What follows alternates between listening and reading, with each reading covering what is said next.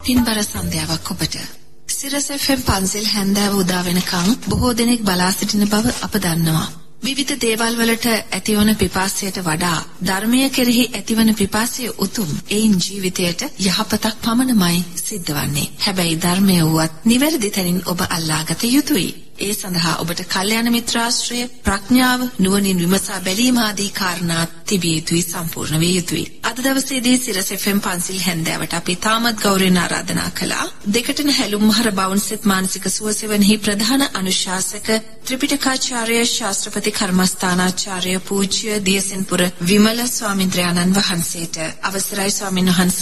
නමෝ තස්ස භගවතෝ අරහතෝ සම්මා සම්බුද්දස්ස අපමත්තා නමියන්ති යේ පමතා යතා මතාති තෙරුවන් සතු අනන්ත ගුණයෙන් අපව ශ්‍රවණය කරන ශ්‍රාවක ප්‍රේක්ෂක පින්වත් හැම දෙනාටම ජීවිත ගමනේ හැම සැනසෙල්ලක්ම උදා වේවා. මේ ලංකා ගෞතම සම්මා සම්බුද්ධ ශාසනයේදී උතුම් ආධ්‍යාත්මික ශ්‍රාවක ශ්‍රාවිකාවන් බවට පත් වෙලා මේ ධර්මය තම තමා තුළින් අවබෝධ කරන්න ස්පර්ශ කරන්න සැලසේවා ලැබේවා කියලා මම මුලින්ම ප්‍රාර්ථනා කරනවා අදිෂ්ඨාන කරනවා. ශාලිකා අදත් අපි මේ මුල පුරන්නේ විශේෂිත කාරණාවක් මුල් කරගන්න. එහෙමයි. ඒ විශේෂිත කාරණා වනාහි මේ ගෞතම සම්මා සම්බුද්ධ ශාසනේ විවිධ අභියෝගයන් වලට මුහුණ දීලා ජීවිතේ ජයගත්ත සසර ජයගත්ත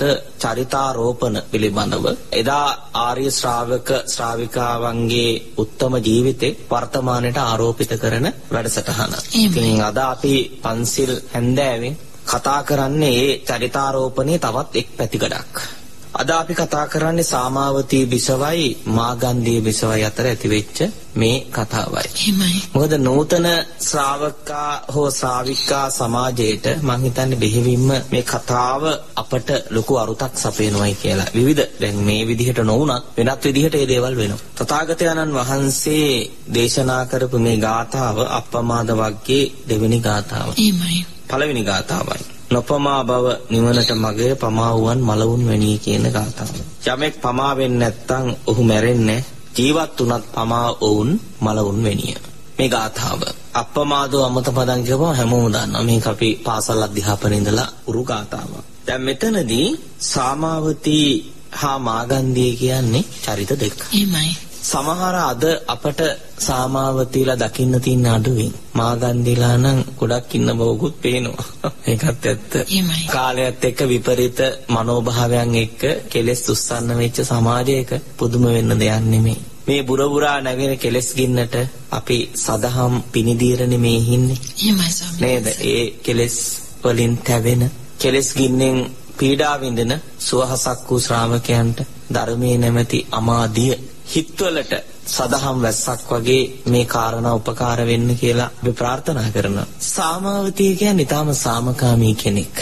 මේ සාමකාමී සාමාවතිය විශේෂයෙන්ම කොසබෑ නුවර හිටපු උදේනි උමරුගේ ඔටුන්න පැලඳුවාට පස්සේ බිසවුරු දෙදෙනෙක් කැඳවගෙන එනවා. සාමාවතිය හා වාසුල දන්තා කියන බිසවුරු. තිදෙනෙක් ආව මාගන්ධි කෙනෙක්. එහෙමයි. එතකොට සාමාවතිය බුදු පියාණන් වහන්සේගෙන් ධර්මය අහනවා. ඒ වගේම මේ ආගමික වත්පිළිවෙත් කරන්න ඊ타ත්ම කැමැත්තෙන් මේ ධර්මයට යොමු වෙච්ච පසුව සෝවාන් මගඵල ලබන කාන්තාව. එහෙමයි ස්වාමීනි. බලන්න සාමාවතී ඒ දේවල් කරනකොට මාගන්ධිය මාර දූතිකාවක් වගේ අර සමස්තයට බාධා කරනවා. බලන්න හැම අභියෝගයක්ම ප්‍රතිවෘද්ධතාවයක් තියෙන බවක් අපිට පේනවනේ. අපි කියනකො අපිට යම් අවස්ථාවකදී යම් කිසි ඉලක්කයක් කරා යනකොට බාධා රැසක් අපිට එනවනේ.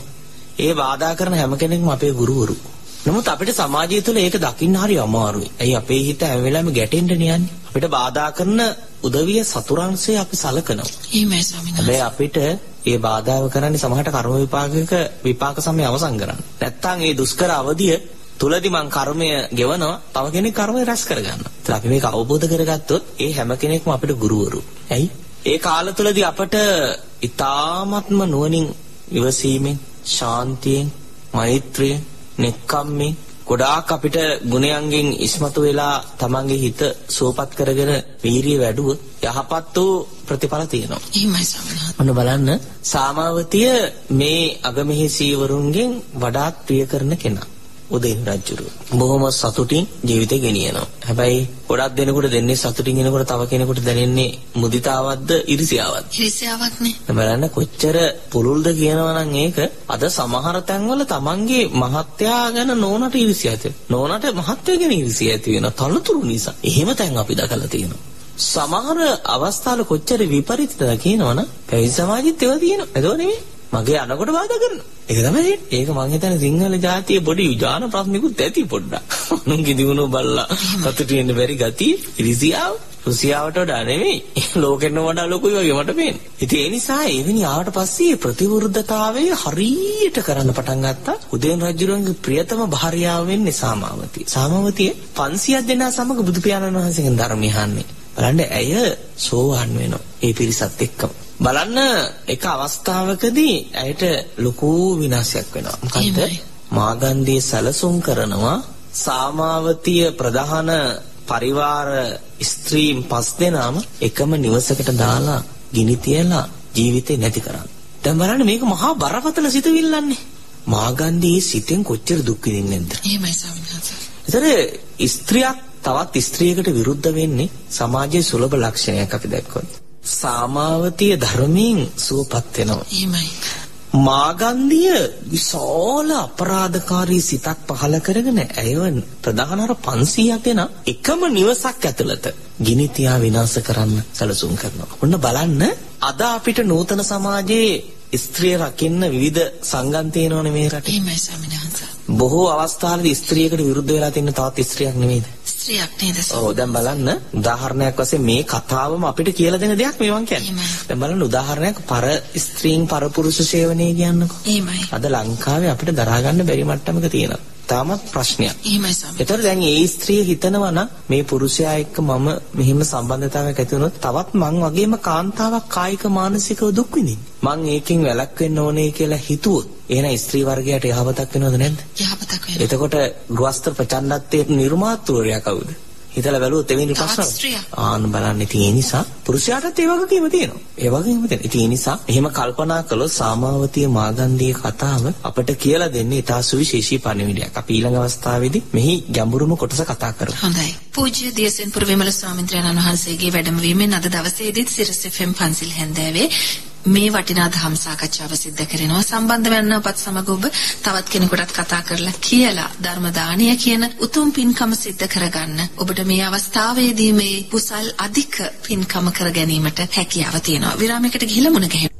අද සිරස FM පන්සිල් හැන්දෑවේදී ධර්මය දේශනා කරන්නේ පූජ්‍ය දියසෙන්පුර විමල ස්වාමින්ද්‍රයන්න් වහන්සේ. ස්වාමින් වහන්සේ විරාමයට යන්නට කලින් අපිට එක්තරා තැනකදී යමක් විශේෂයෙන් සඳහන් කරලා ඒ දේශනය නැවැත්තුවේ තමයි ස්ත්‍රියකට කරදර කරන්නේ හිරිහැර කරන්නේ නැත්නම් පෞල් සංස්ථාව දෙදරවන්නේ තව කාන්තාවක්මයි කියන කාරණේ. ස්වාමින් වහන්සේ මතු පිටින් බැලුවාම පෙනෙන කාරණේ ඔය වුණා. ඒ ආකාරයෙන් උනත් සංසාරයේ පුරාවට මහත් දුක් ගෙන දෙන ක්‍රියාවක් නේද ස්වාමීන් වහන්සේ ක්‍රියාව? ඔව් ඇත්තටම අද අපිට පේන්නේ හුදු ඉන්ද්‍රියන් පිනවන ආසාවන් පසුපස යන රාගේ සරාගී භාවයේ උච්චන්න වෙච්ච සමාජ වපසරයක්. උස්සන්න වෙච්ච තාමත් භයානක කාලයක්. එහෙමයි. මේ ගින්න ලැබු ගින්නකට වඩා බරපතලයි. එහෙමයි. මොකද මිනිස්සුගේ හිතවලනේ මේ ගින්නේ දුමක් නෑ. රාග ගින්නේ දුමක් නෑනේ. හැබැයි ප්‍රායෝගිකව ලොකු හානියකුත් තියෙනවා. ඒ වගේම ස්වාමීන් වහන්සේ තිරිසන් සතුන්ට සමපාත වීමක් තමයි දැන් මෙමින් පවතින්නේ. ඇත්තටම ඒක මම ශාලිකා තව චුට්ටකින් කියලා දෙන්න. හොඳයි. අද දවස වෙනකොට නූතන සමාජය අපි ධර්ම sannivedanaya කරන නිසා මං හිතන්නේ මේ තරමටවත් අපි රැකිලා ඉන්නවා. වෙනත් මානව සමාජයන් දිහා බලපුවාම අපිට වෙනත් සංස්කෘතින් එක්ක ඉතා සංකීර්ණයි. එහෙමයි ස්වාමීන් වහන්සේ. ඉතාම සංකීර්ණයි. අපි හිතනකොටත් ඒ තත්ත්වය භයානකයි. භයානකයි මොකද අද මාතෘත්වය කොයිතරම් පල්ලෙහාට වැටිලාද පීතෘත්වය කොයිතරම් පල්ලෙහාට වැටිලාද දරුවෙක් මේ ලෝකෙට බිහි කළ පමණින් අම්මෙක් තාත්තෙක් වෙන්න පුළුවන්ද එහෙම වෙන්න බෑ එහෙමයි. අම්මෙක් තාත්තෙක් වෙන්න සුසුකම් තියෙනවා ඒව නැතුව කොහොමද අම්මෙක් තාත්තෙක් වෙන්නේ ඉතින් ඒක වෙන මාතෘකාවක් අපේ කතාවට එන්න ඕනනේ මේ මාතෘකාව යනක හින්දා එහෙමයි. ඒතර අද මාතෘකාවේදී අපි චරිත ආරෝපණය කර ගැනීමේදී මං මුල් දවස් දෙකේදී කිව්වා ඔය කැඩිච්ච පණුව වගේ දඟලන බෙරිහන් දෙන, කෑ ගහන විවිධ දුස්සීල චරිත ගන්නවට වඩා අපිට කොච්චර විරාගී චරිත පෙළක් අපිට තියෙනවද අනුකරණය කරන්න. මගේ දුව කුජුත්තරා වගේ වෙනවන කුදු වෙන්නේ නැතුව ගුණෙන් ඍජු වෙනවන. සාමාවතී වගේ වෙනවන.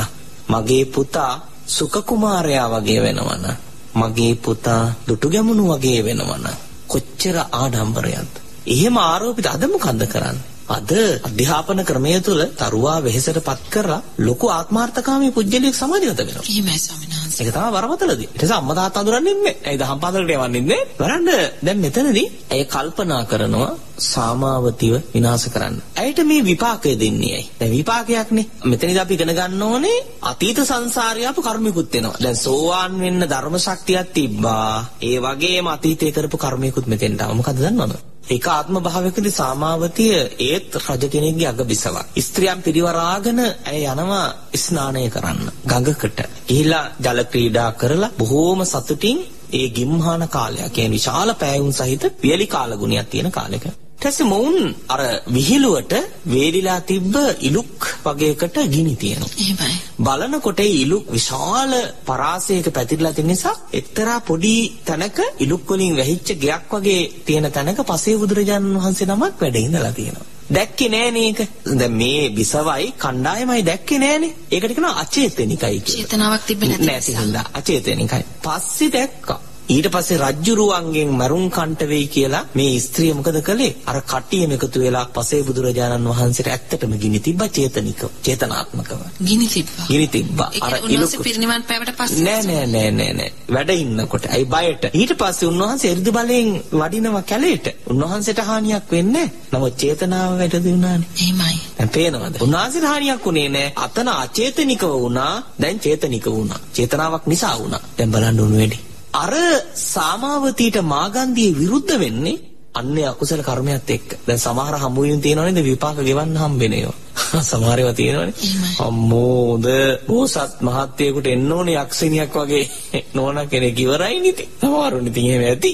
සමහර ගොඩාක් හොඳ නෝනලාට යක්ෂයෙක් වගේ මිනිස්සෙක් හම්බුනොත් ඉවරයි නිති මොන දුකක්ද කියන්නේ. කලින් පේන්නේ නැහැ ස්වාමීන් වහන්සේ ඔක නේද? ඔව් පේන්නේ රාගයෙන් වැහිලානේ බලන්නේ. රාගයෙන් පටන් ගනිමිද හොඳයි. දැන් පටන් ගන්න කාලේ වචන ඔක්කොම ඉවරයිනේ අවුරුද්දේ. ඊට පස්සේ ආනෝ ලයිට් බිල ගෙවන්නේ කොහොමද කියලා අහන්න හිටි දන්නවනේ. දුන්නොත් ගෙවන්න. එහෙම නියන්නේ. පස්සේ ඉස්සර එහෙම නෙමෙයි. කාර්ය දොරත් අරිනවා. පස්සේ තේනද මේ පරිවර්තනේ. ඉතින් ඒක තමයි ප්‍රතඥන ලෝකේ හැටියෝක. ඉතින් ඒ නිසා අපි තේරුම් ගන්න ඕනේ බලන්න සාමාවිතිට පිටිපස්සෙන් කාරණා දෙකක් ආවා. මොනවද? ධර්මයේ දකින්න සුවිශේෂී ශක්තියක් වෙනවා අර කරපු කර්මෙත් ආවා. සවනස අනන්තරී පාප කර්මයක් නෙමෙයි දෙහිම සිතුවිලි. ඇත්තටම දැන් ඒ ආර්යයන් විනාශ කිරීමට ගත්ත තීරණයක්. තීරණයක්. හැබැයි බලන්න මේක සංසාරගත ජීවිතේ විපාක දෙන්න ඇති. පස්සේ සෝවාන් වෙන්න ගෞතම සාසනයේ පින තිබ්බ නිසා සාමාවතිය බලන්න ඒ කර්මයක් ගෙව්වා. අවසානයේ ගින්නට අසු වෙලාමයි මැරෙන්නේ. හැබැයි සෝවා ආත්මහතකින් සසර ඉවරයිනේ ගමන. බලන්න ඒක අපිට කොච්චර විශයක් දෙගෙන මේ ස්ත්‍රී පුරුෂ ගිහි පැවිදි අපි හැමෝටම දෙන පණිවිඩය බලන්න ඒකෙත් නේද ඊළඟට බලන්න මා ගන්ධියට වෙච්ච වැඩේ අනුන්ට යමක් චේතනිකව අයහපත් ඉදිරිය කළොත් තමාට කැරකිලා එන එක එනවමනේ දැන් බලන්න ඊට පස්සේ ඇය කරපු පාප කර්මයේ දිට්ඨදම වේදනීය වශයෙන් වෙන්නේ කොහොමද? උදේනි රජ්ජුරුවන්ගේ රාජ උපහාසයට ලක් වෙනවා. ඇය ඒ විතරක් නෙමෙයි සාමාවතී ප්‍රධාන මේ කාන්තා පිරිසට කරපු මහා අපරාධය හේතු කරගෙන මාගන්ධියට වෙනවා ගිනි තියලා විනාශ වෙන්න. ගිනි තියා. කියන්නේ මොකද කරේ දන්නවද? ඇයටද? ඒ දරුණු විපාකය රජ්ජුරුව ඒ විදිහටම අත්විඳිනද? බලන්න එතකොට එකක් ආර්යයන්ට කරපු මහා බරපතල අකුසල කර්මය සාමාවතී දේවිය කර්මයේ ගෙවලා සෝවාන් වෙලා සසර දුකින් එතර වෙන්න වග හදනකොට මාගන්ධියට මොකද වුනේ? දැන් මාගන්ධිය තව තැනකදී ලොකු ප්‍රශ්නයක් ඇති කරගන්න ඕනේ බුදු පියාණන් වහන්සේට. එහෙමයි ස්වාමීන් වහන්සේ. ආක්‍රෝෂ පරිභව කරලා නේද? එහෙමයි. දැන් බලන්නකො තමන්ගේ විවාහගත පුජ්‍යලයා වෙන්න කියලා බුදු පියාණන් වහන්සේට කියන්න කියනෝනේ අම්මතර බලන්න. අම්මයි තාත්තයි බුදු පියාණන් වහන්සේ ළඟට පැහැදිලා සෝවන් වෙනවා මාගන්ධිය බුදු කෙනෙකුට අපහාස කරලා පව් කරගන්නවා. දැන් බලන්න එතන වෙනස. දැන් මාගන්ධියගේ අම්මයි තාත්තත් ධර්මයට ගියානේ. නමුත් මාගන්ධියට ධර්මයේ හම්බුන්නේ නැහනේ. ඒ රූපේ මත් වෙලා හිටියේ. දැන් පේනවද මේ විෂය? ඒ නිසා අපි මෙන්න මේ ආරෝපිත කතා අද නූතන සමාජය අපිට මේවා දකින්න නැද්ද? එහෙමයි ස්වාමීන් වහන්සේ. අද බුදු කෙනෙක් විද්‍යමාන නොවුනත් අපට පේනවා නේද සමහර අවස්ථාවලදී මේ ජන සමාජය තුළ මෙවැනි ගැටුම්කාරී තත්ත්වයන් තුළදී ඇති වෙන විනාශකාරී දේවල් බලන්නකො. එකිනෙකා මරා ගන්නවා, ගහ කොටා ගන්නවා. ඈ කොච්චර දේවල්ද මේ මේ මේ භයානක තත්ත්වයේ මිනිසුන්ගේ හිතේ කෙලෙස් වල තියෙන භයානකම කොච්චරද කියලා බලන්න හිතලා. ඒ නිසා මේ සාමාවතී මාගන්ධිය කියන චරිත දෙකේදී මේ සමාජ නියෝජනය නූතන සමාජයේ සිද්ධ වෙනවා. හොවන් නොවුනට ගුණවන්ත ස්ත්‍රීන්ට පුරුෂයන්ට ගුණයෙන් පිරිහිච්ච ස්ත්‍රී පුරුෂයන් ද්‍රෝහිකම් කරන්නේ නැද්ද? එහෙමයි. එතකොට එවැනි සමාජ ක්‍රමයක් තුළ අපි අත්දකින ඊටා භයානක తত্ত্বය තමයි මේ ධර්මතාවය ඊටාමත් භයානකයි. ඒ නිසා අපි තේරුම් ගන්න ඕනේ අපි සංසාර ගමනක ඉන්නේ කියලා. එතකොට ඒකෙන් තව දෙයක් අපිට ඉගෙන ගන්න පුළුවන් මේ කතාවේදී. කල ධර්ම ශක්තියත් ඒ වගේම අපිත් එක්ක එනවා. යම් අරපතල අකුසල ධර්මයන් කළොත් ඒකත් අපිත් එක්කම එනවා. දැන් පේනවද මේකේ தত্ত্বය? ඒ නිසා මේ සංසාරික ජීවිතේ සත්‍ය වශයෙන්ම දුකක්මයි. ඒ නිසා නූතන ජන සමාජයේදී සමහරු උමතු භාවයට පත් වෙලා තියෙන මේ නවීන කියන ලෝකයකනේ. නවීනයි කියන ලෝකේ මොනවද දිනු වෙලා තියෙන මිනිසුන්ගේ? දැන් අපි මේ කතා කරන දේ මැදිරියක ලංකාවටම ලෝකෙටම හැල්ල දෙන්න පුළුවන්. තාක්ෂණික වශයෙන් දියුණුව ආධ්‍යාත්මික පැත්තෙන් මොකද වෙලා තියෙන්නේ? හිතලා බලන්නකෝ දැන් වෙනත් ලෝකයේ දියුණුව රට අපි ගන්නකො තායිවාන් ගන්නකො කොයි වෙලාවේ භූමිකම්පයිද? කොයි වෙලාවේ මේ සුලිසුලන් ඒද කියලා දන්නවා. ඉතින් මේ මිනිස්සු කොච්චර බයින් දින්නේ? අද ගොඩාක් ඒ භූමිය හැරදාලා යනවා කියනවනේ. සමහරද? අපේ රටේ භූමිකම්ප තියෙනවා. ගිනි කඳු තියෙනවා. කොච්චර වාසනාවන්තද නේද? ඒකනේ මේක විනාශ කළාම දැන් මේ පෞකාරයකුතු වෙලා. ඒකනේ අනිත් පැත්ත. මන ඝාතකයෝ පෞකාරය මේ සම්මාදිට්ඨික දෙවිවරු මේ භූමිය අතහැරලා යන්න ලෑස්තිද? දන්නවා සාලිකා අධර්ම රාගයේ විසම ලෝභයේ මිත්‍යා දෘෂ්ටිය බලවත් වෙලාද? ඉහළ ඉඳලා පල්ලෙහාටම. ඒ ඇති වෙන චිත්ත තරංගයන් මේ වාතලයට දරා ගන්න බෑ. බලන්න ස්වභාව දහම අද කොච්චර විකෘති වෙලාද කියලා. ස්වභාව දහම දඬුවම් කරන්නේ නැද්ද මේ අමනුෂ්‍යයන්ට? මේ මිනිසුන්ට දඬුවම් කර. බලන්නකො පඨවි ධාතු ආපෝ තේජෝ වායු සියල්ලම කුපිත වෙන හැටි බලන්නකො. කලට වැහි වහිනවද? රාජා බෞතු ධම්මිකෝ කියලා වැඩකුත් නෑ දැන්. ඒ තරමට ඈ ඒ තරමට බලන්නකො අද තියෙන තත්ත්වය. ඊට පස්සේ සිල්ලුතුන් ගුණවතුන්ගෙන් පින්දහම් කරන මිනිසුන්ගෙන් හිග වෙනකොට මේ මනුස්ස ලෝකයේ අසුර කරන දෙවිවරු මේ මනුස්ස ලෝකේ අතාරිනවා. ඒ වෙනුවට අමනුෂ්‍ය වෙන්නේ. භයානක නැද්ද? ඊට පස්සේ මිනිස්සුන්ගේ හැසිරීම අමනුෂ්‍යවත්. චාලිකා මේ වැඩසටහන මැදදී පට මතක් කරා නේද? එහෙමයි ස්වාමී. බලන්නකො මිනිස්සු විසින් ඉන්න අමනුෂ්‍ය නැද්ද? ඒක භයානක තත්ත්වයක්. ඒ නිසා මිනිස්සු සීලයෙන්, ශ්‍රුතයෙන්, ඡාගයෙන්, සමාධියෙන්, ප්‍රඥාවෙන් ආපස්සට නොගියොත් අපි මේ මොන සංවර්ධනයක් කරත් සාර්ථක මානව සමාජයක් කරා යන්න බැරි වෙනවා අපිට. අපි ස්වභාව දහමට වින කර කර වින කර කර අපි සංවර්ධනය කළා මානව සම්පත ගැන හිතන්නේ නැතුව කියොත් එහෙම කලට වැසි වැස්සි නැති වුණොත් මොකද වෙන්නේ? ඔය මොකක්වත් කරන්න පුළුවන්ද? වැඩි ඕන්නේ සාලිකා. මේ පොළවෙන් දෙන තෙල් ටික හිගවුණු දවසට වාහන කෝටි කීයක් මහපාරේ තියෙයිද මේ ස්වභාව දහම ඉන්න දෙන්නේ. මිනිස්සුන්ට අද ඔක්කොම අමතක වෙලා නැහැ. අපේ රටේ ස්වභාව දහම අමතක වෙලා නැද්ද? හරිත කලාපවල් කියලා කියනවා. හරිත තමයි තව තැනක කපලා තව තැනක. අටවල හරියනවා මේ කාර්මිකකරණය කළා හරනවා ඒ සංවර්ධනය කරන ඊට වඩා හරිත ක්‍රම කොච්චර ලෝකේ තියෙනවද? වැඩි ඕනේ බුද්ධ ආගමේ ආර්ථික රටාවට ආවන ඔය එකක්වත් ඕනේ ආර්ථික න්‍යායන් කොච්චර තියෙනවද බුදුදහම ඈ ලෝකෙ මිනිස්සු බුදුදහමෙන් ප්‍රයෝජන ගන්නවා. අපේ ඉන්න දුසිරිතෙන් ගිය බුද්ධිහීන උගතුන් මොකද කරන්නේ?